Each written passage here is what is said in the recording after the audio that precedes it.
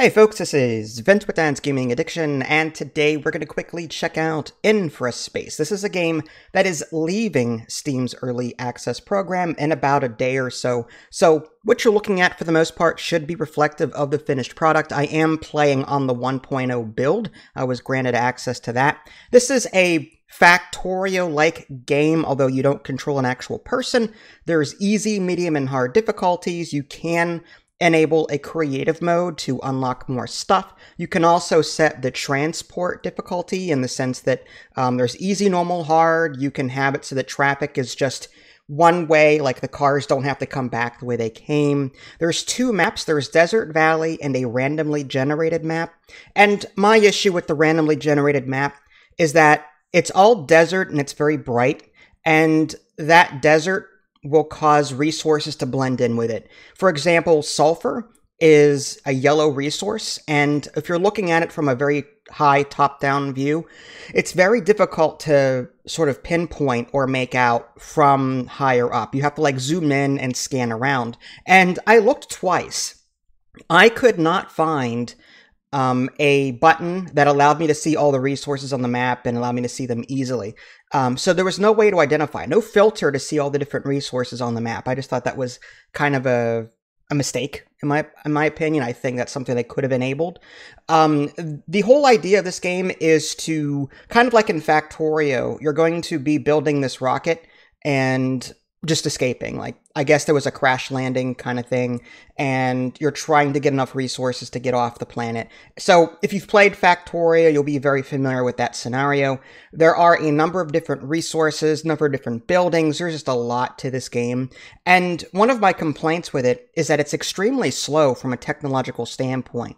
Trying to research stuff is just really, really slow. I found myself alt tabbing and watching Netflix or playing some other game while I was waiting for this research to be done.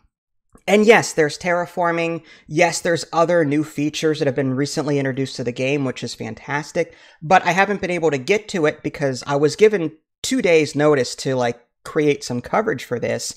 And I don't have the time to sit here for several hours and wait for the research tree to to unlock everything. Uh, yes, I could enable everything to be unlocked, but I shouldn't have to. Um, in Factorio, there are sliders that you can set uh, that sort of fine tune the difficulty and the resources and research. You can fine tune all of that with sliders. Here, it's just easy, normal, hard, or creative. And even on easy, research is incredibly slow. At least I found it to be. So that's just something I, I'm I don't know I like I this is going to be more of like a first impressions kind of deal because I couldn't get far enough to unlock more of the cool things. Um, like in Factorio, the research is done via like these these beakers of different colors. Like you start with the blue beakers, then move on to the green beakers, and then I think there's yellow and red, and you need resources in order to create these beakers. So yeah, and then you're also going to be creating habitats so that people can move and work because different buildings will have different labor requirements. And by putting down like parks and satisfying the habitants' needs, these buildings will upgrade automatically. So if you've played games like Caesar, uh, Caesar 4 is one of my all time favorite games. Too bad it doesn't work on my PC anymore, but it was a lot of fun. As you supply these habitats with like computers and other resources that it may want, they will just automatically upgrade.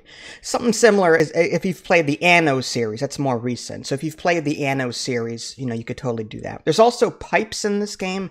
You can create storages and there's like methane pipes, crude oil, water, and oxygen pipes. So you can, instead of having to have your trucks deliver everything everywhere, uh, you can create pipes instead. Uh, there's uh, distribution centers that you can eventually unlock. There's all sorts of cool things. It's just, again, waiting for it to unlock is my pet peeve. Like, again, I found myself alt tabbing on a regular basis. So, like, I'm not trying to, like, I'm trying to get my criticisms out as quickly as possible and make this video a respectable length. The rest of it's fine. Um, I like the idea of, you know, putting buildings down and growing a little colony and trying to unlock everything there is. And I love the idea that there's terraforming as well. I just I just wish it wasn't an all or nothing kind of thing. Like I wish I could, I wish there were sliders to where I can make the research fast or on easy. I just, you know, I, I wish there was a custom difficulty set. And getting back to the whole resources thing, I wish there was a way to click a button and see all of the resources on the planet at a glance, at a at a contrast, so that I can easily make them out on the planet's surface. Um, that's that's a problem. Another issue that I had was with the piping. Like when you select something to build it it doesn't register that you've selected it. Like there's it the the button that you click on doesn't indent. So I can't tell if I've clicked on it or not and I'm in build mode or not. So that that's another problem that I have, especially when I'm building pipes. There's no confirmation that I've clicked on the pipe button to start building it. I just have to like hope that I did it, you know what I mean? And then I start building pipes where I need them to. So this game isn't perfect. I still feel like it could have spent more time in early access but I sincerely hope the developers do plan to build on it in the future. At $25, honestly, like I would wait for a sale if it were me. There's still some things about this game that just like Factorio is a little bit more expensive, but it has a lot more content to it. Um, it's just it's just a better game in my opinion. This one isn't bad, don't get me wrong, but I'm just saying like this game could still stand to be improved in a number of ways. I just feel like it's leaving early access a bit too early. But that's my first impressions of it. Feel free to check it out if this is the sort of thing that interests you. If you guys haven't already, subscribe to me on Twitch and YouTube. That way you can stay up to date with any new content I happen to publish. This is Vince. Thanks for watching. I'll catch you all next time. Take care.